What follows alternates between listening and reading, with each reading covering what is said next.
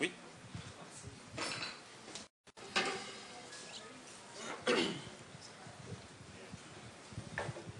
OK.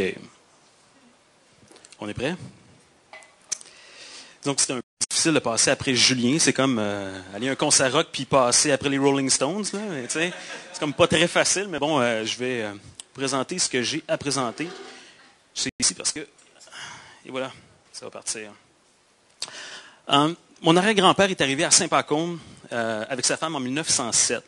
Puis selon la légende, il est débarqué du train avec un moulin à coudre sous un bras puis une armoire sur l'autre.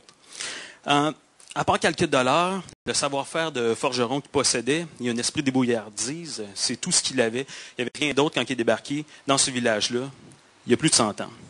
À son arrivée, le curé Caron lui a dit J'ai connu des grands maisons qui viennent d'ailleurs euh, et ils vendent de l'alcool de contrebande. Viens ici, monsieur Grand Maison, pour vendre de la boisson. Je vais te retourner sur le train. D'où est-ce que tu viens Donc, même s'il n'y avait aucun lien avec ces grandes maisons-là, il partait, euh, il s'est retrouvé dans un village inconnu, sans travail, avec un curé qui faisait douter la population envers lui. Donc, il a acheté une petite maison et un bâtiment pouvant servir de boutique de forge parce qu'il était forgeron. Et après quelques semaines, il n'y avait toujours pas de clients.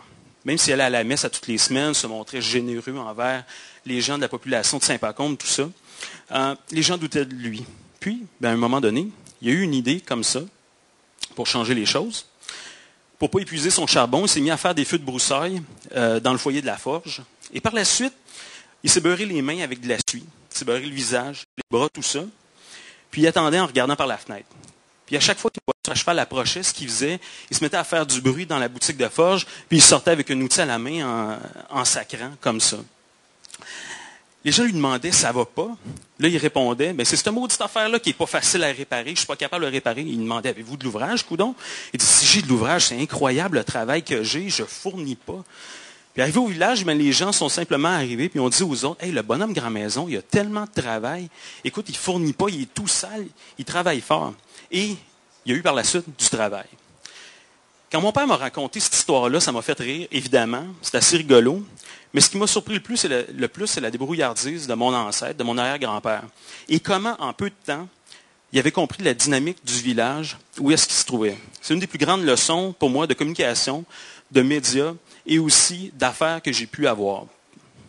Parce que, oui, à, son arrivée, mon arrière-grand-père a utilisé un stratagème de communication pour obtenir du travail. C'est une question de survie. Sa femme était enceinte, il était nouveau marié, tout ça. Mais sans être conscient des choix qu'il a fait à ce moment-là, euh, il a adopté une façon de faire qui convenait autant à la situation qu'aux attentes des gens. Puis en y pensant, cette situation-là ressemble beaucoup à ce qui se passe sur le web. Peu importe ce qu'on fait, il faut connaître les outils, que ce soit sur le web ou ailleurs. Donc, pour lui, c'était de savoir travailler le fer avec un marteau et une enclume et même s'il a fait croire euh, qu'il était débordé, la clientèle n'était pas gagnée d'avance. Il fallait aussi qu'il soit bon pour qu'il puisse garder ses clients et en obtenir d'autres par la suite. Il y a aussi une question de marché. Saint-Pacôme, c'était le plus gros village à l'époque dans la région du Kamouraska, avec plus de 2000 habitants, plus même qu'il y en a aujourd'hui réellement. Donc, beaucoup de fermiers, beaucoup de chevaux, il y avait des moulins assis, donc des trucs à réparer. Donc, il y avait un marché là, même s'il y avait déjà quatre ou cinq euh, forgerons qui étaient dans la place à ce moment-là. Le, marché pouvait en prendre un de plus. Il faut aussi comprendre la dynamique du marché dans lequel on se trouve. Quelles sont les forces, les faiblesses, les facteurs d'influence? À l'époque, tout reposait sur la communication orale et sur les apparences. Qu'est-ce que les gens pensaient de vous? Il y avait les discussions de salon. Sur Twitter, maintenant, c'est vraiment la même chose. Les discussions de salon se sont transposées sur Twitter, sur le web, un peu partout. Quand on débarque dans un nouveau marché aussi, euh, il faut gagner la confiance. Donc, il a trouvé une façon de faire pour que les gens lui confient leurs chevaux. Il savait que si les gens croyaient qu'il y avait du travail, il allait le répéter. Donc, il fallait parler aux bonnes personnes. C'est facile de parler aux gens du même milieu que soi. C'est ce qu'on fait ce soir. On est tous là, on est tous un peu dans le même milieu. Mais rejoindre la cible est toujours plus difficile. Les signes d'autorité jouent aussi un rôle crucial euh, dans la réussite. Euh, le curé le croyait issu d'une famille de contrebandiers. Il l'a dit à tous les, paroissiens. le curé, à l'époque, c'était l'autorité ultime. Il fallait que tu deals avec. Sans savoir, il a été ingénieux parce qu'il a acheté sa maison qui appartenait au curé à l'époque. Il allait à la messe souvent, donc il a modifié la, perception de l'autorité en place. Il vivait à l'extérieur du village. Sa maison était à l'extérieur du village, sur la rue de la gare. Mais c'était isolé, mais c'était un hub d'activité. Euh, tous les gens allaient à la gare pour voyager ou pour aller chercher le courrier. Il y avait aussi plusieurs commerces qui se trouvaient sur cette rue-là. Et cette rue-là menait à la ville voisine. Donc, tout le monde passait euh, là durant la semaine à un moment ou à un autre. C'était inévitable. Il faut avoir des signes d'activité. Pour lui, fumée qui sort de la cheminée de son bâtiment, c'était la suie sur le corps, le bruit de l'enclume. Tout était là pour que les gens y croient. Ils ne pouvaient pas ne pas travailler. C'était évident qu'ils travaillaient, c'est sûr. Donc, sur le web, lorsque les gens ont du travail, malheureusement, on voit les signes d'activité décroître. On voit moins de blog posts, moins de Twitter, tout ça. Donc, il faut aussi faire travailler son réseau, répandre la bonne nouvelle. Le bouche à oreille euh, était important et il est tout autant sur le web en ce moment. Si la rumeur est bonne, il faut la laisser courir parce que la, rumeur a souvent plus de persistance que la vérité. On a juste à penser au mythe que Marie-Madeleine était une prostituée. C'est écrit nulle part dans la Bible, mais tout le monde y croit parce que le Vatican a laissé courir. On peut aussi maximiser sa présence et évoluer. Euh, il y avait la forge d'un côté de la rue. De l'autre côté de la rue, il y avait une épicerie dans sa maison. Euh, quand l'automobile est apparu, il a installé une pompe à essence chez lui. Il a même opéré un restaurant pendant un certain temps. Donc, il faut se poser la question, est-ce qu'on fait tout ce qu'il faut pour affirmer notre présence sur le web ou celle du client et maximiser cette présence-là? Et là, vous vous dites, c'est en apprenant les outils, en connaissant la dynamique des réseaux et en, optimisant notre présence qu'on va réussir. Pour vrai? Euh, c'est sûr que ça va marcher si on fait tout ça, puis on communique par les bon canot. Oui? Non, peut-être?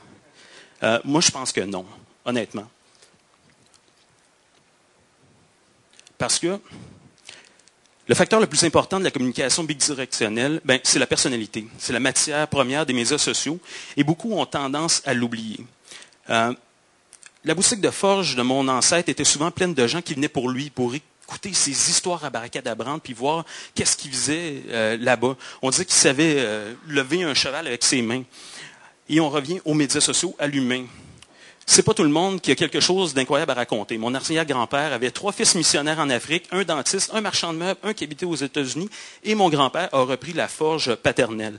Sauf que même à la retraite, la maison était pleine de gens incroyables. Maison qui ramenait des prêtres africains dès les années 40 à la maison. Donc la maison était pleine de gens incroyables. Et même avec une histoire simple, il savait la rendre fantastique.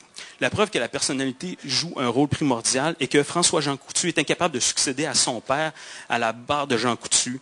La preuve est qu'à talent égal, on préfère un artiste plutôt qu'un autre artiste. Puis la preuve, c'est que je suis là devant vous et je suis en train de vous raconter une histoire qui vient de 102 ans. Donc, voilà.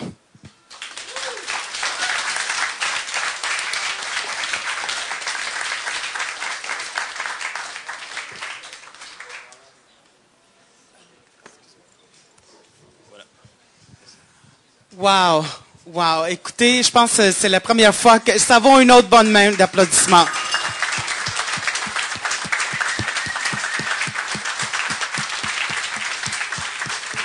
Merci encore, monsieur. Et euh, j'aimerais euh, inviter, laisser la parole à la responsable de l'organisation de Troisième Mardi, Michelle Sullivan, qui aura quelques petits mots et remerciements à donner. Je veux...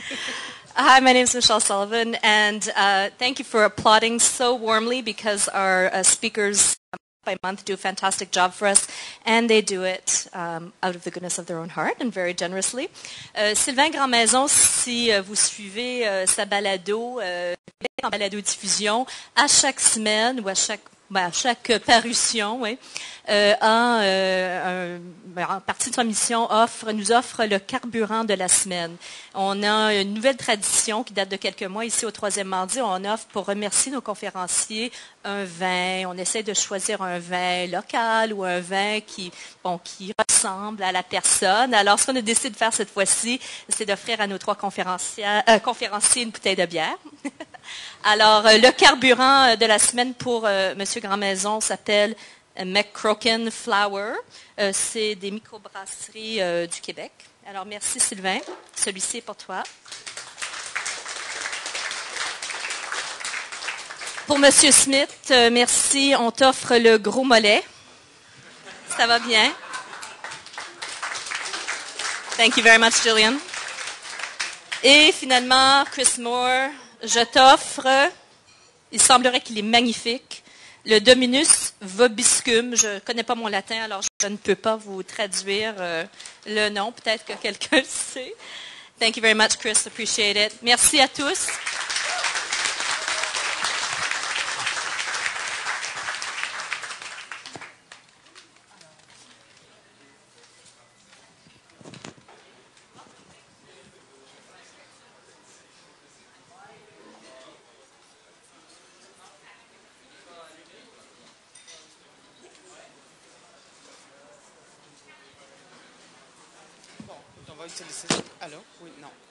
Bon, euh, écoutez, euh, on va euh, reprendre notre petit bac avec les cartes d'affaires que vous avez si gentiment et avec empressement